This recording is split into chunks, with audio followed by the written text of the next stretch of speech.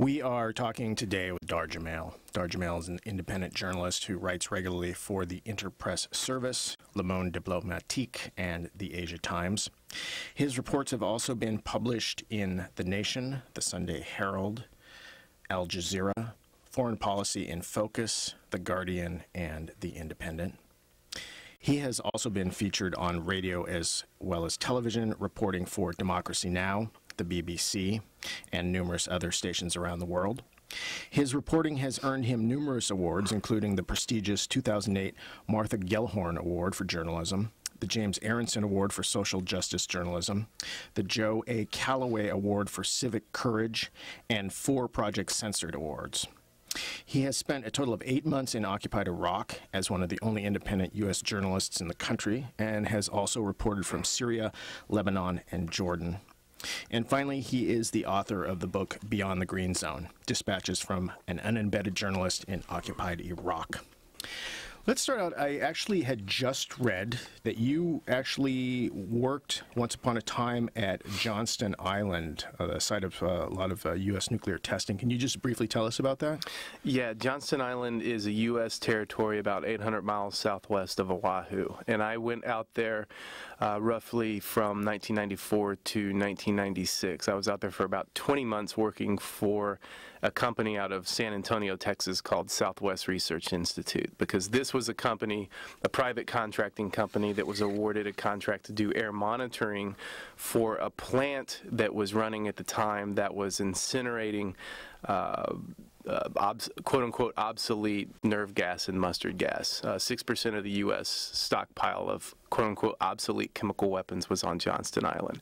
And so I worked in a lab doing the air monitoring of the plant uh, that was out there uh, incinerating these weapons. And this was 6% of the stockpile. They did finish incinerating it, uh, and it took them, I think, over a dozen years to incinerate 6% uh, of the stockpile. But this was a pilot plant because if this plant could prove that it could successfully and safely do this, then uh, more of these plants would be built at the uh, I, I, believe there are eight other sites in the U.S. to to get this job done, and uh, they they made that plant. They, made sure that plant passed, and now those sites uh, in several of those places are already built and functioning as we speak.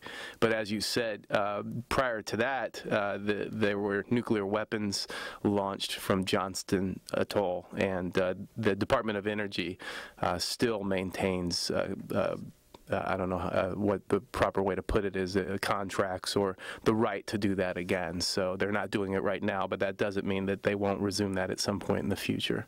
Why did you depart from that job? Uh, I went straight from there to Alaska, so that kind of gives you a little bit of an idea of my mindset. Was it I wasn't under a, uh, I wasn't disillusioned enough to the point that when I went out there, I expected the government to be doing this wonderful, great uh, a thing that's so good for the environment. But I did expect, you know, I went out there thinking, look, this is a situation where it's good to get rid of these weapons. I mean, they're horrible things, and if I, you know, uh, environmentally, it's a good thing uh, for sure.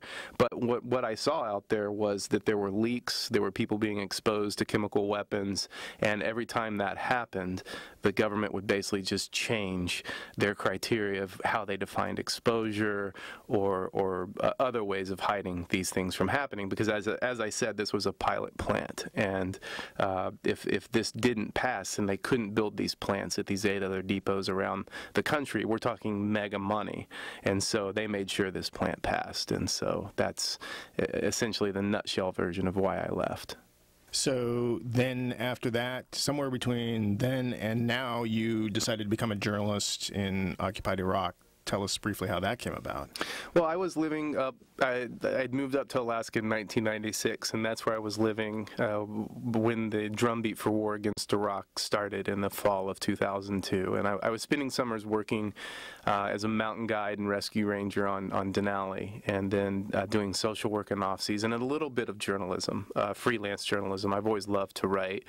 And I decided to go and do the crazy thing uh, of going from Anchorage to Baghdad uh, because I felt the the way then uh, the same way that so many people feel today. It's like, well, whatever I'm going to do, it's not going to make a difference, or what can I do? I'm frustrated. I see all this horrible stuff happening, and I don't know what to do about it. And I, I felt that way month after month after month, and that became more acute uh, the closer the war became. And then after the protests of February 1503, of seeing millions of people across the world brushed aside as a focus group, I just decided uh, basically I'd, I'd eaten enough crap from my government, and that I was angry and I was pissed off, and I, I was I was tired of eating crap, and I decided I wanted to try to do something to make a difference. And so I've always, like I said, I always loved to write, and I I, I definitely wanted to go to Iraq and see for myself what was happening, and decided one thing I could do was to go over there and, and write about what was happening. And and so that's why I decided to go. And I think that if people simply get creative and, and follow what's in their heart, that uh, instead of asking the question of well, what should I do, they, they probably already know.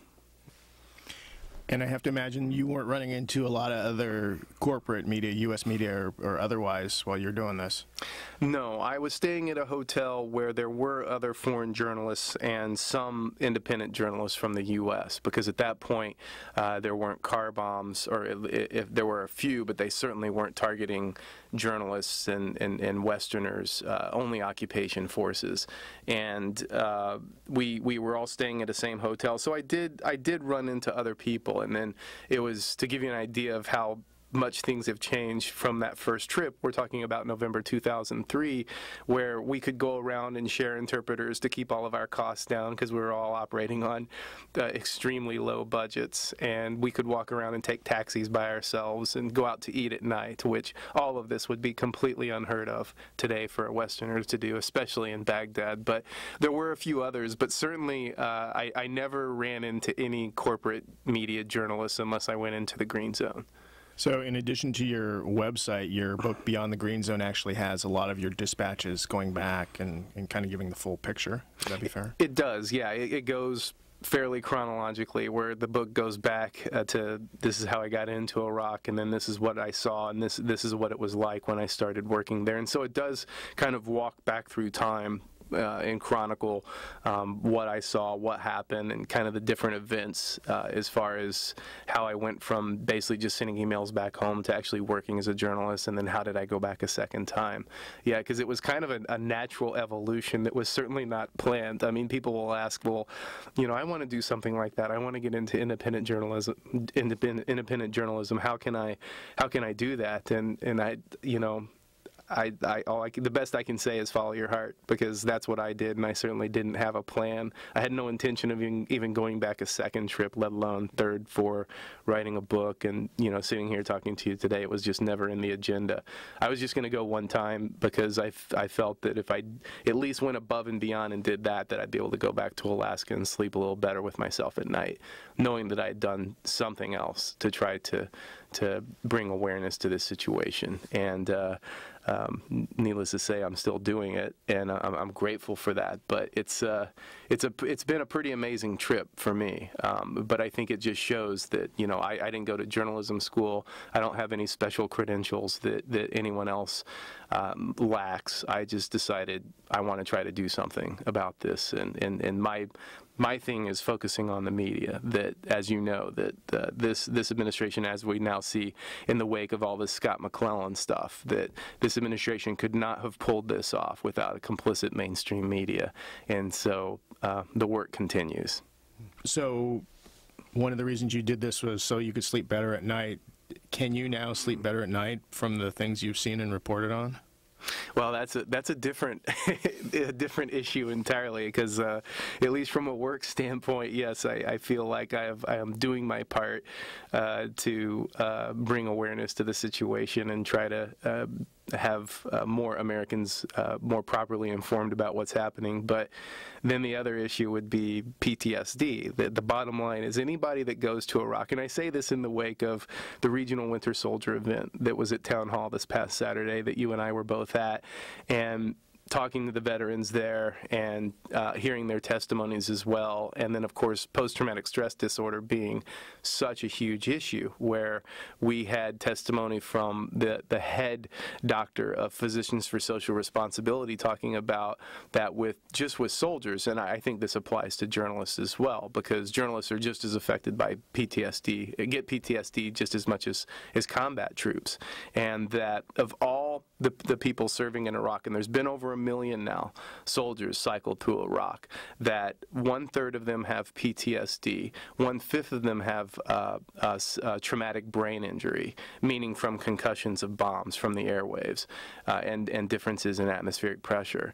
And then uh, I, I, believe it was another, at minimum one fifth uh, suffer from severe depression. So when we add all those up, you're looking at uh, basically between three and 500,000 people that are back after having been in Iraq that have either severe depression, PTSD, or traumatic brain injury, or two of the three, or all three. So it's it's it's it's really astounding to look at it through that lens. I mean, we're talking about hundreds of thousands of people coming back home that are are uh, really really suffering, and and I fit in that category. I mean, when I came back, uh, and actually I remember talking with you. It was probably two or three weeks after my last trip in Baghdad, and I came up to Seattle to give some talks. And I was definitely in, in PTSD, where interrupted sleep, nightmares, uh, feeling emotionally numb, uh, or, or, or the only other feeling was, was rage about what was happening, and then lack of uh, appropriate reaction back here from the population. And I've had to deal with that. I've had to uh, see a counselor and, and talk about it and, and continue to need to keep tabs on that because you don't, as a human being, go into a war zone and see atrocities and see bodies and horrible, horrible things and interview families that have been completely destroyed or wiped out from bombs or other types of violence and and uh, remain the same the rest of your life. It's just impossible. And I think if you ask any any combat veteran, like the, the folks we heard testify last weekend, uh, they're going to tell you the same thing. And and if they're not going to tell you that, you can look at them and see that you know this person's been deeply affected by that, and uh, you have to deal with it accordingly. And I think that this is, I mean, th and this is a story that has gotten some coverage, even in the corporate media. But when we look at just the sheer numbers, I mean, this is a story that when we look at the people coming back from Vietnam and how many there are, because another thing that's important people need to keep in perspective is that in Vietnam, people that were drafted, uh, you only had to serve one tour. You could volunteer and do others, but but you had hundreds and hundreds of thousands of people serving in Vietnam that only had to do one tour. We've had guys going over to Iraq for seven tours. I mean, the average now is three to four tours. Certainly, lots and lots of people are doing two. So, how does that stack up psychologically? And we talk about PTSD and people coming back home. Um, you know, not just physiologically, uh, but but psychologically severely damaged and needing help. And how is this going to play out through time? I mean, this is this is a huge, huge story that, while it's gotten some coverage, I, I, we're just at the very beginning of this. Yeah, we were talking before we started about uh, what they cover on the corporate news at night, and one of the things that's come up, it has been mentioned uh, briefly in some of the corporate media, but not on front page where it should be, is the stat. Oh, and I hate calling it a statistic. Is the reality that on average 18 soldiers are killing themselves or committing suicide every day, and you don't see that mentioned on the nightly news about how many soldiers today killed themselves. That's a that's a very important point, and I'm I'm glad that you brought that up because the Pentagon will not refute when when this report came out, and the Pentagon will not refute it. We've had more soldiers in the U.S. military commit suicide than have actually been killed or died in Iraq, and we're coming up on 4,100. So at least that number plus a bit more have committed suicide in addition to that. And again, so already we're talking about upwards of almost 10,000 deaths, not coming up on 4,100, but uh, upwards of 10,000. And then when we talk about wounded, I mean, it's, you know, the Pentagon now, I think they claim some absurd number like 25 or 30,000, something like this, wounded. Well, they, and I remember the day they did it, they readjusted their criteria to define what, what is wounded. I mean, just like what I said happened on Johnston Island, like, well, these statistics are a bit too damning. We need to we need to uh, change this up so it doesn't look quite as bad. And that's what what they've done, where they they they uh, redefine the parameters so that uh, the number. I remember when they did it, the number of, of wounded and casualties was up over 52,000, and when they did it, it dropped down to just under 30,000. So we're looking at a false number. But again, uh, just just with psychological injuries alone, I mean, one third of the people that have been cycled through Iraq of having PTSD. Just with that alone, we're looking at over 200,000. PTSD. I mean, that is a casualty of war. And then when we add in the physical uh, casualties and then battlefield casualties and all of this, I mean, we're getting upwards of, of uh, hundreds and hundreds of thousands, not 30,000. Well, and just again with the numbers for PTSD, if the reports are accurate, and I believe they are, of the different soldiers who have been reporting at the Winter Soldier hearings, the ones that work in the VA and have been told by upper management in the VA to not uh, recognize different people coming through as having PTSD because they don't have the infrastructure to be able to handle that, then the numbers have got to be, I mean, I don't know of what magnitude higher, but certainly the, the arrow would be pointing up. Absolutely, absolutely. And, and yeah, all these figures I'm putting out there, my, my source is the Veterans Administration itself, if anyone wants to, to check. And as you said, that I believe it's according to the VA, it's a minimum of 20% of the soldiers coming back have, have PTSD. And then there's other sources that put the number far, far higher than that percentage-wise. But certainly, again, when we talk about these statistics, uh, you know, we, and when we talk about casualties, I mean, how many of these statistics include drunk driving driving fatalities or uh, you know domestic violence or barroom fights or I mean we can go on down a long list of of other things that aren't really being measured because they're so I don't even know if it's possible to measure all of this stuff but but certainly the fact that it's coming from the VA um, who as we know has been caught red-handed trying to hide the number of suicides where actually the number was going to come out and there was a memo that was released internally from within the VA it was leaked out to the media of someone saying, no, um, we need to just, we need to make sure that people don't hear about this. Um, so that kind of thing. So in that climate is, is, is where we're getting a statistic of conservatively one out of five people coming back have PTSD just for starters. So uh, I think it's safe to say the number is far higher than that. So I believe you're working on a new book. You have one in progress, and that is focusing on what? On resistance within the U.S. military to the occupation of Iraq. Uh, we've We've heard a little bit about this where more and more people, uh, soldiers specifically, are disgruntled about what's happening. Uh, many of us uh, have have been aware that morale is very low. I mean, there was a, a, a Zogby International poll that was released in February 2006 where they sur surveyed all the troops in Iraq and found that I believe it was 71% reported either low or very low morale, and that all, all, U.S. forces should be withdrawn in, uh, within a year's time, and that was in February 2006. Things are worse now. Uh, we have a situation where across the board morale is low it's you're hard pressed to find units and there are still some units over there that excuse me that believe in their mission but you're pretty hard pressed to find uh, find that. That's that's definitely the exception and not the norm. And so as a result, you've got a, a very demoralized military. As as we talked about before, many of them are over there on this, at least their second tours, sometimes their third and fourth tours, and so they're literally in survival mode. Where one of the things that keeps soldiers going back, I think the primary reason why someone would serve in Iraq and then go back again is because they feel an obligation to protect their buddies, that they don't want to leave because they would feel guilty if they left their unit and then something happened and oh I could have been there to protect my buddies and they, they don't want to betray their buddies that that loyalty which which is to be respected I think um, is is what keeps people going back and so uh, in that climate we have a situation where what I've been finding in my book is there's uh, we've all heard of search and destroy missions in the U.S. military well uh, they're called search and avoid missions. And this is not a new thing. This was rampant in Vietnam as well. But basically, what's happening is people are over there, morale is very low, and they said, Look, we don't really believe in this mission. Uh, our is sending us out on these bogus patrols in these really hot areas because if we get into combat, he gets a medal even if he's not with us. I guess that's how you become General Petraeus. But it's my point is, it's not good for morale. So they're going out, and I interviewed, I came across this on book tour for Beyond the Green Zone. I was up near Fort Drum in New York, which is where the 10th Mountain Division is based. And I was interviewing an active duty soldier, and he said, Yeah, we did these search and avoid missions. We would go out on our patrol, we'd go to the end of our patrol route, we'd find a big open field, ideally under some date palms, park our unarmored Humvees, and we'd sit there and we'd listen to music, we'd drink soda, we'd smoke cigarettes, and pretend. And we'd call in every hour to base and say, Yeah, we're still searching the field for weapons caches. And we'd do that for 8 to 12 hours or however long we were supposed to be out, and then we'd go back home. And he said we'd do that every other day.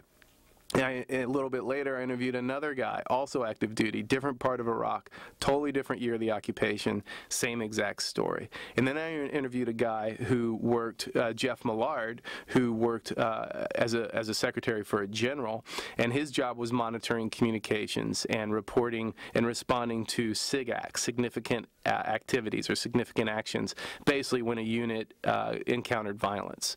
And he said that yeah, we knew that units were doing these search and avoid missions because we had units in places like Tikrit and in parts of Al Anbar province, which at the time were extremely hot, the hottest areas in Iraq, and and uh, they would they would go six, seven, eight months and not report one SIGACT. That's like a physical impossibility. So my point being is that this is rampant. It's going on today as we speak. I interviewed more troops just a couple of days ago uh, uh, that were talking to me about other new and creative and inventive ways of also doing search and avoid missions, but I'm going to save that for the book. Uh, and then there's others like uh, AWOL. There's been 80,000 troops go AWOL so far since the war started. We don't hear about that very much, do we? That's a lot of people. Uh, the military military is basically being held together by duct tape today, where there's a reason why there's more contractors now in Iraq than there are members of the U.S. military. And a lot of that is because if I'm a soldier serving in Iraq and my morale's low and I don't like the way I'm being treated and I just finished my contract, well, it makes more sense for me rather than rejoining the military, even with a twenty or forty thousand dollar signing bonus, if I can go work for Blackwater now and make ten times the money, have real benefits, really get taken care of if, if I get wounded and be able to leave at the end of two months if I want to instead of two or four years and not be jacked around by the military. So uh, the military is hemorrhaging troops, uh, but most are leaving. Most aren't even going to the contractors. Most people, the biggest part of this resistance is kind of an unspoken, quiet resistance where people are basically finishing their contracts and then just walking away, just washing their hands like, I don't want any part of this war. I don't want any part of this this military. I feel like I've been screwed over, not taken care of, not supported. I just want out. And that's what's happening. And that's why the military is not making recruiting goals. Suicides are at all time high levels. Uh, it's hemorrhaging troops. And, and uh, this is a huge, huge story that while we've had a little bit of reporting on it, uh, that's just the very, very tip of the iceberg.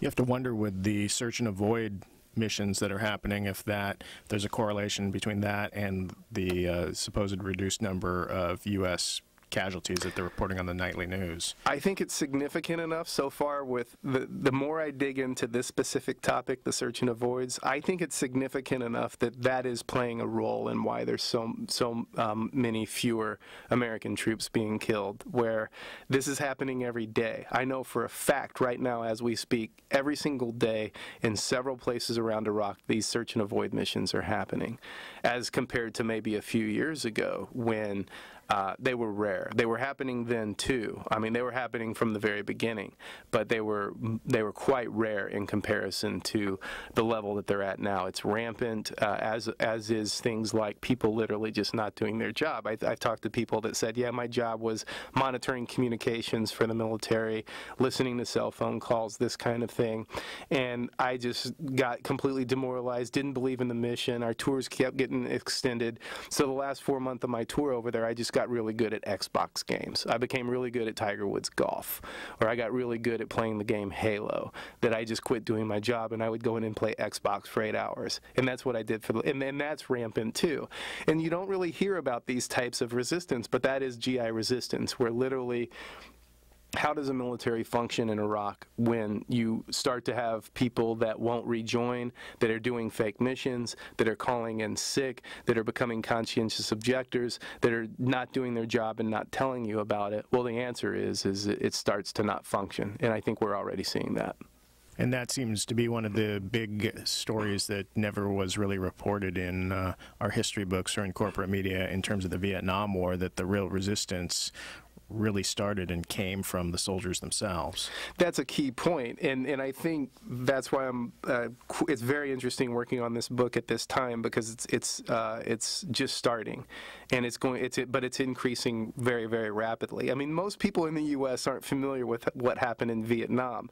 Uh, this wasn't that the government all of a sudden got a conscience and pulled out, or it wasn't only because of the anti-war movement here, and it wasn't only because of the Vietnamese resistance. It was three main things contributed to the U.S. withdrawal from Vietnam. It was first and foremost, I think, a very fierce, unrelenting Vietnamese resistance. It was definitely a, a vibrant anti-war movement here, and then just as importantly, uh, I think a close second behind the Vietnamese resistance is there was a GI resistance within the U.S. military. Whereas by the end of that war, half the troops on the ground wouldn't follow orders. At one point during Vietnam, there were 14 aircraft carrier groups that the U.S. had. At one point in Vietnam, particularly when they really uh, de started decreasing the ground forces and increasing the use of air power, there were two of those 14 aircraft carrier groups were offline from GI resistance sabotage, literally. So one seventh of the aircraft carrier fleet were taken down just from GI resistance alone. Um, it was a huge, huge resistance. Uh, people were using drugs regularly, smoking pot, uh, doing heroin, uh, uh drinking alcoholically, just literally, you know, fraggings were going through the roof, just not following orders.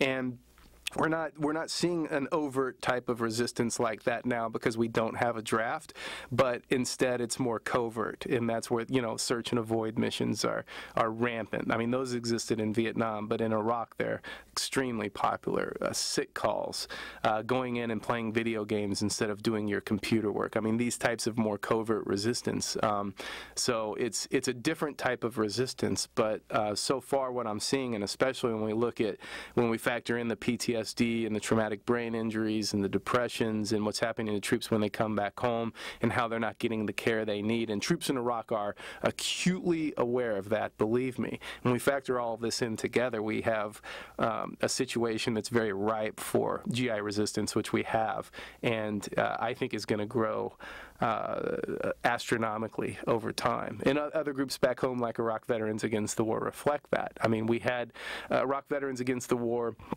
is an organization that had about 800 members when their Winter Soldier event happened in Silver Spring, Maryland, uh, the middle of March. Uh, they've they've increased their membership 50 percent from that day to now uh, by by over 400 people, and the fastest growing segment of their population are active duty troops. Unfortunately, we are just about out of time. In addition to your book, Beyond the Green Zone, how uh, where else can people turn to to find your writings? I do have a website. It's dahr.org, D-A-H-R.org, and folks can read hard news stories there. I do have uh, consistently new stories being posted from uh, Iraqi colleagues inside of Iraq that are still getting information out, uh, and then a big link section there where folks can uh, check out other news sources as well. All right. And what's the ETA on your book?